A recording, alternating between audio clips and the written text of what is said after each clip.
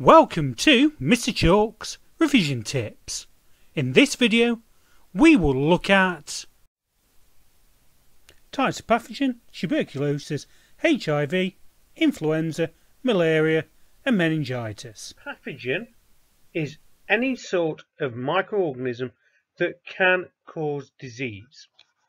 So specific animal pathogens are infectious agents such as viruses, bacteria and parasites.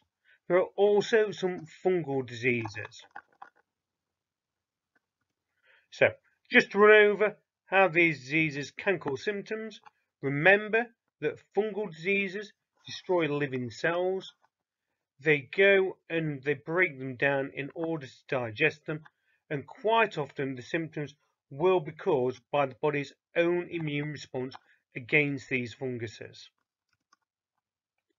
Viruses take over cell metabolism. The viral genetic material gets into the host cell and it is inserted into the host DNA. The virus then uses the host cell to make new viruses which burst out and kill the cell. Most bacteria produce toxins and poisons that damage host cells. Some toxins damage host cells by breaking them down or damaging cell membranes, and some can cause damage or inactivation to enzymes.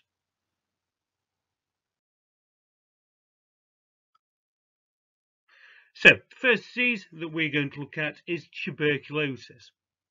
So, TB in the lungs or throat are the only forms of illness that are infectious, which means that they can be passed from one person to person. When somebody with TB in their lung or throat coughs or sneezes, they send droplets into the air which can contain the tuberculosis bacteria. If you breathe in these bacteria over a long period of time, you can go and get infectious with it. So, just consider the question, what is tuberculosis? Pause the video and then have a look at the answer. So, tuberculosis is an infectious disease caused by bacteria that usually spreads through the air, usually through coughing.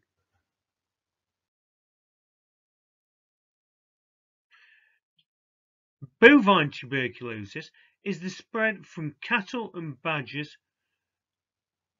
and to um, other cattle and badgers. This usually happens when animals are in close contact with each other. So animal density is a major factor in the transmission of this infection.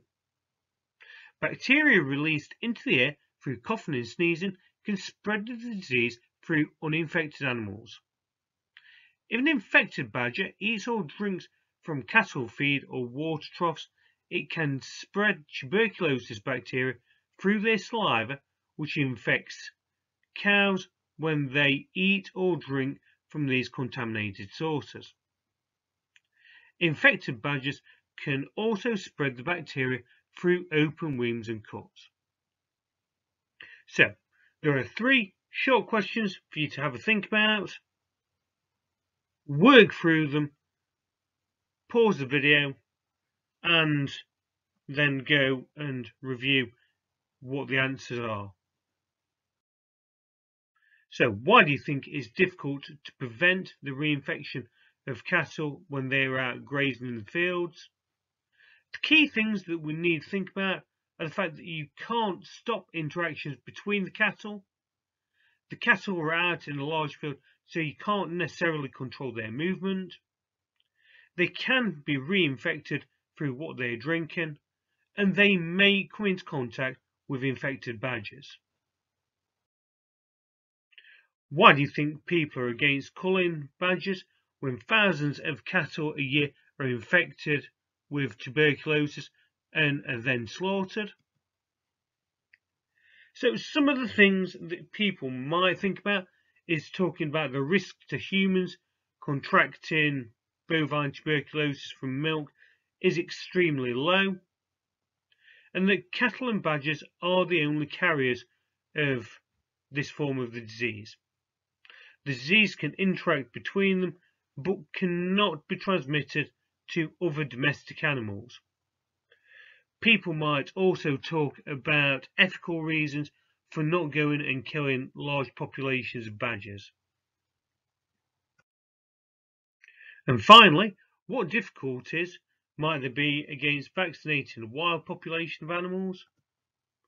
Some of your answers might go and talk about difficulties in delivering the vaccines, no necessarily um, accurate way of seeing what animals have been vaccinated or still need vaccinating,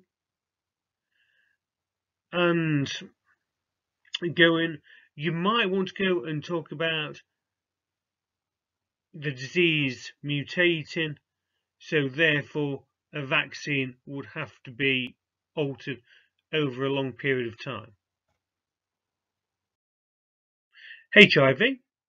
So HIV is the human immunodeficiency virus. Right, over time they can cause acquired immunodeficiency syndrome, which is a condition that causes progressive failure of the immune system and allows life-threatening opportunistic infections such as cancers to go and take hold. There are three short questions here for you to think about. Pause the video, have a go at them, and then go and have a look at the answers.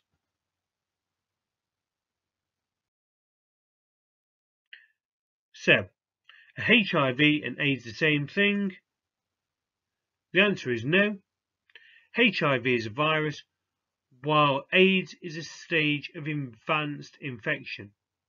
Specifically, HIV or human immunodeficiency virus is an infectious virus that gradually breaks down a person's immune system, leaving the body less able to defend itself against other viruses, bacteria, fungi, and parasites. These infections, which are often called opportunistic, tend to be mild in early stages and can become progressively worse as the immune system is depleted.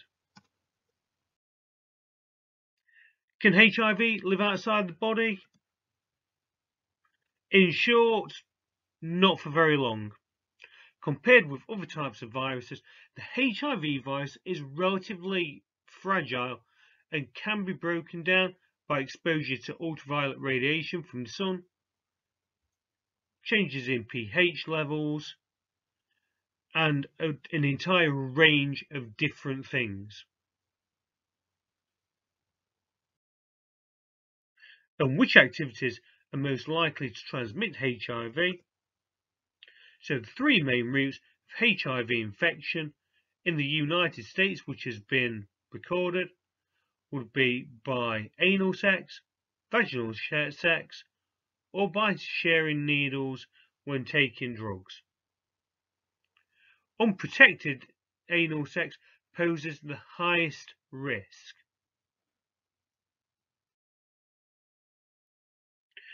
Influenza, commonly known as flu, is an infectious disease caused by an influenza virus.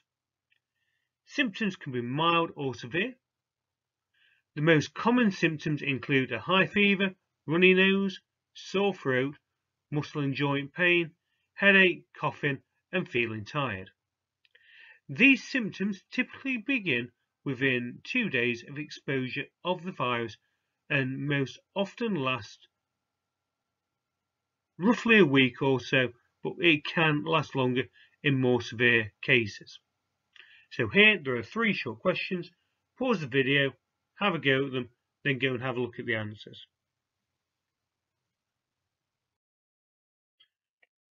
So what causes the influenza? In short, a virus that enters the upper respiratory system and binds onto the cell using antigens on its surface. Specifically, it uses the hemagglutinin and neuraminidase antigen. What are the symptoms of influenza? High fever, runny nose, sore throat, muscle and joint pain, headache, coughing, and feeling tired. And finally, how is influenza spread? Influenza viruses are spread mainly by tiny droplets made with the flu in them when people cough or sneeze.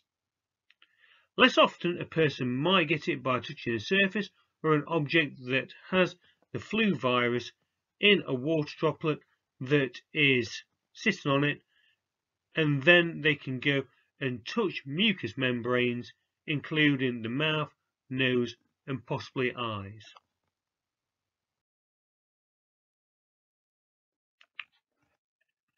So, this set of three short questions relates to this small case study. Zoonotic influenza refers to a disease caused by animal influenza viruses that cross into human populations, so cross that human-animal divide and infect people. People can be infected with influenza viruses that are usually circulating in animal populations such as avian influenza, which goes and splits into subtypes A, H5N1 and AH9N2, and swine influenza virus, which splits into the subtypes AH1N1 and AH3N2. Other species, including horses and dogs, also have their own variants of influenza viruses. Even though these viruses are named as the same subtype of virus found in humans, all of these animal viruses are distinct from human influenza viruses and do not transmit easily.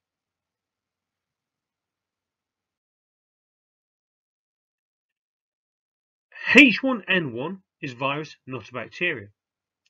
Why does this make it more dangerous? So, some of your answers might go and focus on the fact that viruses infect cells. Viruses take over the cells to produce more of it. Because the virus is inside the cell, it is hard to get medicines inside of them to stop the virus. And viruses mutate more rapidly than bacteria, so therefore, new strains that we're not immune to can evolve over a short period of time. Explain how DNA technology helps dealing with new strains of influenza. So the DNA of new viruses can be mapped rapidly. The genome of the virus can be shared quickly, and from this genome a vaccine can be reverse engineered, which can then be spread and tested on humans. And finally, how does the transmission of new strains of influenza differ from other pathogens that are transmitted? So influenza A viruses are typically, or that typically infect and transmit among animal species sometimes can cross over from animal species to human species. Avian influenza A viruses may be transmitted from animals to humans in two main ways. Directly from birds of avian influenza A or virus contaminated environments which people may come into contact with. Malaria is caused by a plasmodium parasite, which is spread from female mosquitoes. These are known as night biting mosquitoes because this is when they are most commonly out. The parasite enters the bloodstream and travels to the liver. The infection then develops in the liver and re-enters the bloodstream and attacks red blood cells. So some of the symptoms include fever, chills, sweating, vomiting, muscle pains, and diarrhea. There are two short questions here for you to think about. Pause the video and then go and have a look at the possible answers. So there are four main types of malaria that can infect humans. They are all spread by what? So they are all spread by mosquito bites. We need to think about the fact that these are female mosquitoes that are feeding on blood whilst they are reproducing. Once malaria parasites enter the bloodstream, which organs do they travel to? Simply put it, they will go and migrate to the liver. The final type of human disease that we need to have a quick look at is meningitis. So meningitis is the inflammation of the membranes that surround the meninges in the brain and spinal cord. So the bacteria that cause meningitis can also cause septicemia. Right, remember that septicemia is blood poisoning. Symptoms of meningitis include being sick, a headache, stiff neck, and dislike of bright lights. You may also get a rash. Meningitis is usually treated with antibiotics in hospital. It's really important that treatment is started as soon as possible to stop any more prominent things caused by the uh, bacteria, such as septicemia, from occurring. Thanks for watching.